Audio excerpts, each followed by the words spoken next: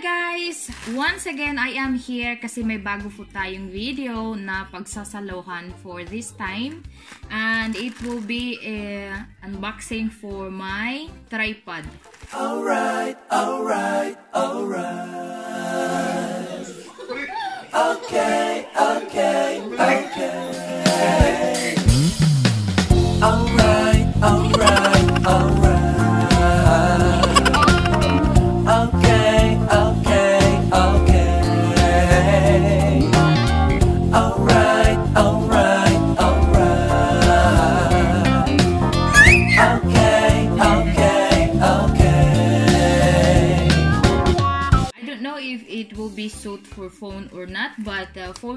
It's more important that I will be comfortable on everything I do. And finally, I've got it already. At ito nga, makikita nyo malaki siya. At ngayon, buksan natin kasi excited na rin ako makita kung ano yung itsura niya. Actually, I've ordered it in... It wasn't me really. It was Tulia who ordered it in AliExpress. Because I never found it in Joom. Ayan siya, guys. Napakalaki niya kasi ito yung ah, extra large, not extra large. Da, extra large, XL. Ito yung XL size ng tripod, ng Octopus tripod. I think parang body lang talaga siya, wala siya yung ulo. Yung parang hawakan ng ano, camera or phone. Wala siya. Body lang siya. Ngayon, tignan na natin. Tanggalan na natin siya ng cover. Ayan. Kasi minalas ako dun sa mga nauna kong orders na maliliit.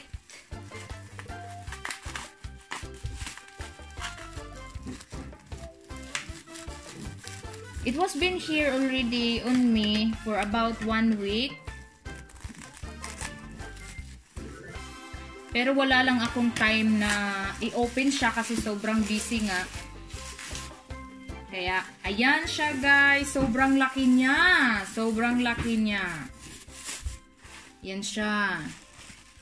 Naka-cover din siya ng ganito, yung may mga puff. Yung may mga puff na cover para Actually, lahat naman ata ng ano ng packaging ng online ng online shop ay nakapack ng ganyan. Ayan na siya, guys!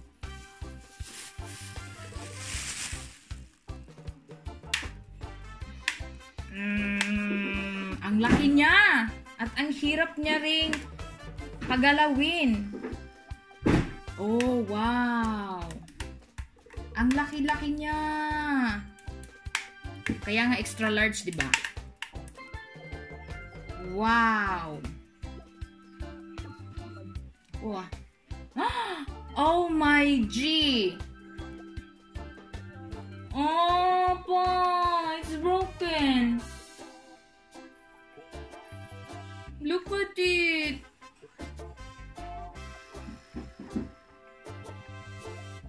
What can we do it? Open on Tuesday when you get it.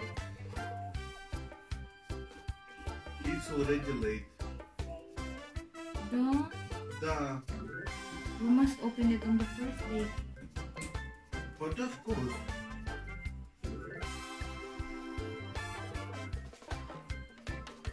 Maybe glue.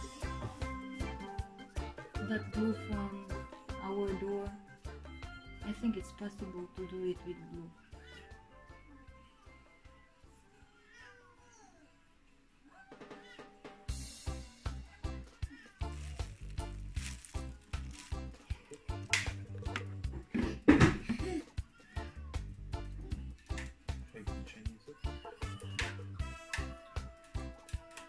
Oh, don't go. I will repair it first. Maybe you can ask Slava for glue again. No how, but I will apply. No? Mm-hmm. That glue is better. Your glue is better than mine. No good. Oh guys, I'm very disappointed on this kind of unboxing.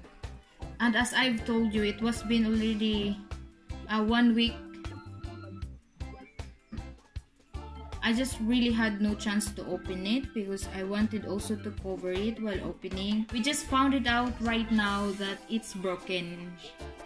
Actually, wala siyang broken dito sa ano kasi ito ay rubber to siya eh. Itong puti, rubber siya. Pero plastic itong nandito sa ah, bottom. At ito nga yung broken. Ayan, kung makikita nyo siya. Ayan. It's really totally broken.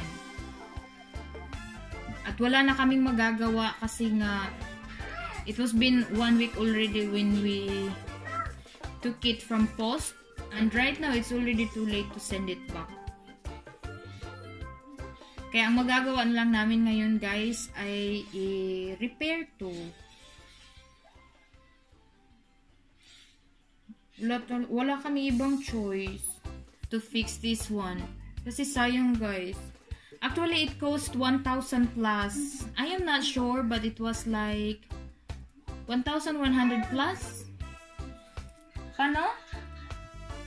Pa, how much does it cost? 1,000 plus. Hindi ko na rin masyadong natandaan kung yung mag, ah, kung magkano yung plus, but I think it was like 100 plus, so 1,100 plus like that. Actually, super ganda niya, guys. Sadyang ano lang talaga, ito lang yung broken part ang nakaka-disappoint. So like for example like that, see, it doesn't make sense. Hindi siya pwedeng ma-connect sa sobrang laki niya. Pero kung makikita nyo guys, ayan siya. Pwede siyang matanggal. Itong malaki na to for camera ay pwede siyang matanggal. So ngayon, lumiit na siya. Kaya pwede nyo nang ilagay itong ulo. Ayan. Ayan. So, pwede na siyang lagyan ng ulo na maliit ang butas. Kaya ngayon, convenient na siya for phone din. Which is more good kasi mas matigas siya at saka parang mas matibay yung body. Tsaka pag ipatayo mo siya ng ganyan, ayan. Natakot akong yanuhin kasi yung broken nga. Ayan, mas madali siyang patayuin pag nag-vlogging ka.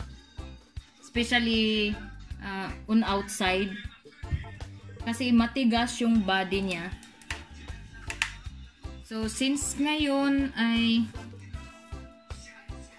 broken siya, hindi ko muna siya gagamitin. I will repair it first. Balik ko na siya. At i-review din natin yung movement ng mga galamay niya. Sobrang tigas niya talaga. Hindi ko nga halos mabali, oh. Ito lang yung halos yung gumagalaw.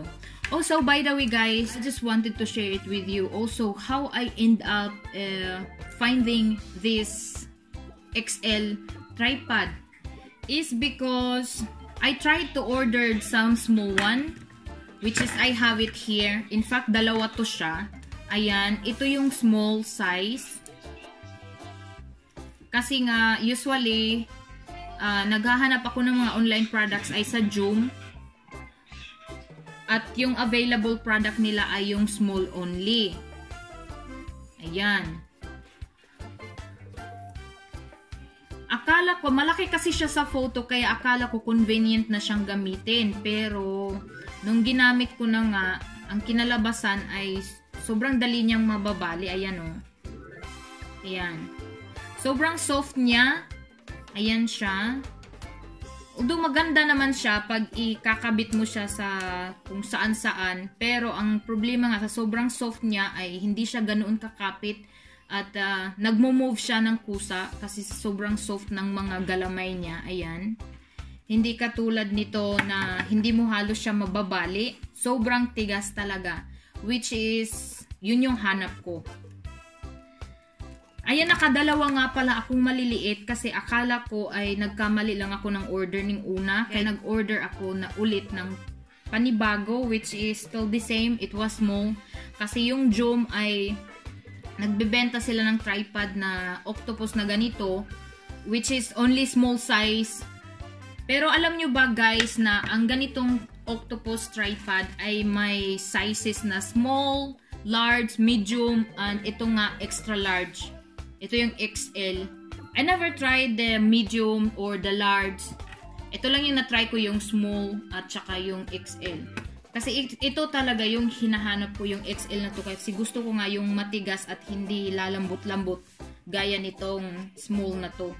Although convenient din naman tong small kasi magaan at saka maliit pero yun nga ah, napaka soft ng ano niya ng mga galamay niya. Kaya every time na ginagamit ko siya pag gusto mo siyang patayuin ayan. Pag gusto mo siyang patayuin hindi mo siya ma straight ng pagpapatayo gumaganyan siya. Yan tapos ang hirap niya ring i-balance eh, kasi sa sobrang soft niya konting galaw lang ay nadideform ka agad yung angle ng camera mo. Hindi katulad nito na pag ganyan mo pag ganyan mo may straight mo siya kaagad kasi nga matigas. Ito kasi, gumagalaw ng pusa sa sobrang lambot. Tsaka dahil din siguro sobrang, sa sobrang liit niya, tsaka hindi rin naman kasi to kamahalan. 100 plus ko lang to nakuha kasi sa sale. But actually, 200 plus to kung walang sale. Pero pag naka-sale ay to 100 plus lang siya.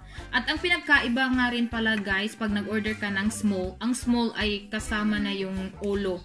Pero pwede ka rin namang bumili ng ah, hindi kasama yung ulo. Ito lang, mas cheaper yon Pero yung extra large, yung XL, wala siyang ulong kasama. Sadyang body lang.